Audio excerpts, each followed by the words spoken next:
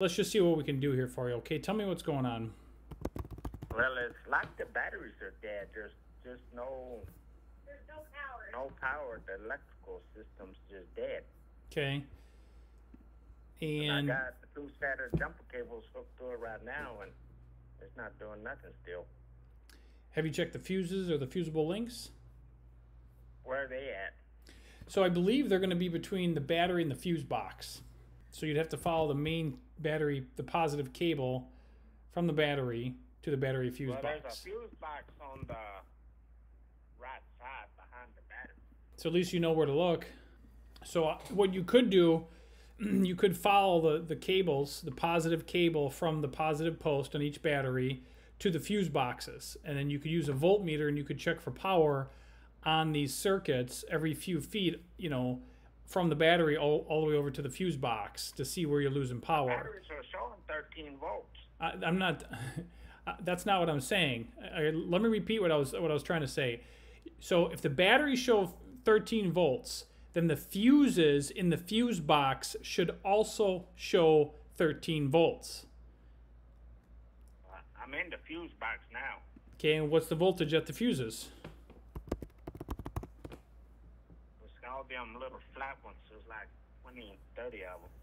Is that the wrong box? Well, you could you could check both of them if you got a couple of them under the hood.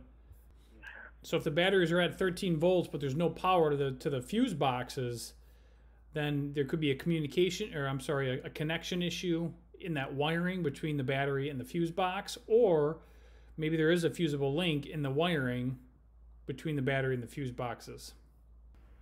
Honey, I don't know. You have to ask him. Is it one of them little flat fuses?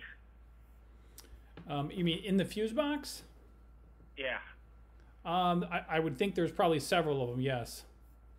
Yeah. I wonder how you know which one is to the electrical. Well, all the fuses are for electrical, but what you can do is you can just check power on all of the fuses. Did you? I'm sorry. Did you say you checked all the fuses and, and they are good? No. No. Oh, No, he was asking how you tell which one goes to what. All it has is a bunch of numbers. It doesn't oh. actually say one is for this, two Okay. is for this. You know what I'm saying? yeah, I got you. Okay, so sometimes they do each of each of them are labeled, but if they're not, if they're just numbered, the only way to tell would be basically to use a wiring diagram. And normally I have wiring diagrams for just about any vehicle, but for this particular one, because it's a 2024, I don't have I don't have a diagram for this new of a vehicle. But what you could do, if you haven't checked the fuses, you'll want to check every single fuse to make sure that they're good, and then if they're good, then we're going to want to go ahead and make sure that the, the fuses under the hood have the same voltage as the battery. So again, if the battery's got 13 volts, these fuses should also have 13 volts. And if it would be easier, I can let you go. I can let you work on this, and then you can reply back with the results and the readings, and we can go from there. You check the fuse or check the prongs in the box? Well, if they're if they have a flat top, then there should be two small metal prongs, right? When you're looking down at the There's fuse at the top on of it. fuse- There's not on the fuses. They in the box. Okay. The, the, the fuses had the female in. Okay. So then you yeah you might have to you might have to remove and then the check power on the on the female ends or on the you know whatever they plug into. So y'all want to make sure that that's got battery voltage. They got like a negative three. Okay, where you, where do you have your black lead when you're checking for voltage? One post, one post has 13, and the other one has seven. Okay. So one post has battery voltage, which is good.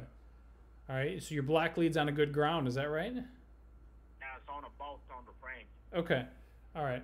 So that means that particular fuse has voltage, or at least where you're checking it. So you want to make sure that all of the fuses under the hood are getting voltage. And then, of course, make sure all of the fuses themselves are good. You know, make sure they're not blown. That 40 amp next to that 30 don't have nothing. Okay, that could indicate we got a bad fuse box. That's possible. On the 60 amp fuse, the top prong has 13, and the bottom prong has two. Well, you got the fuse removed, correct? Yeah.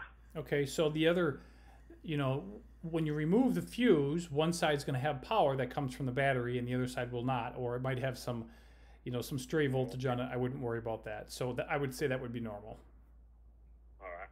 But that 40 amp, it don't have nothing on it. Okay.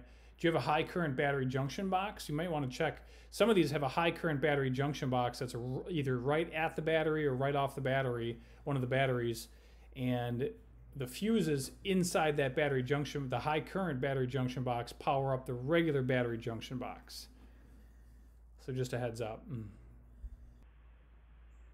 I need to check all them fuses, every one of them. Yes, sir. Because what's going to happen is we could spend hours on the phone, and then, oh look at that, we, we found a blown fuse. It was it was as simple as that. I couldn't I can't tell you how many times I've been down that road.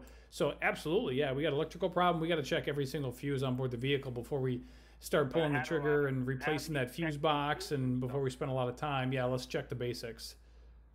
But how am I going to check these fuses? Because they don't have a end on them.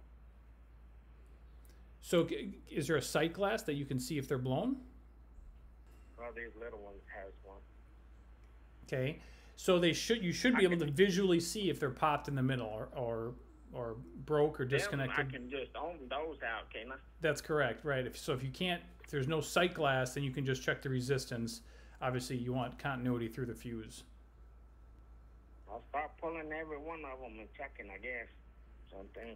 It'd be easier. What you, what you could do is you can get a test light or a voltmeter. Uh, we we use something called a power probe, and we just basically we leave the fuses in place, and we just check if there's two metal prongs on the top side of the fuses. You can just check both sides. You know, if the fuse is good, both sides will have power. But if the fuse is I a di- On the bottom of the fuse box, there's three wires that's bolted to it, okay, like big wires. Yeah, it's probably power coming in. So you can take your, you know, voltmeter and check power. Once we confirm the fuses are good, we can make sure there's power in and out of the fuse box to the rest of the vehicle. If the fuse box has power, then I, my guess is those wires are probably leaving the fuse box, powering up other components. So again, if we haven't gone through the fuses, we have to go through the fuses and make sure they're good. If the fuses are good and those wires don't have voltage, that could suggest we got a bad fuse box. Brand new truck and already got this kind of issue. It shouldn't be the case. That's why I, I keep recommending to check the fuses. That that would be the most likely cause, unless we got a bad connection or something like that. But anything's possible at this point. Mm. All right. I guess I'll just pull them all and check every one of them. Yes, sir. And then just reply back and let me know what you find.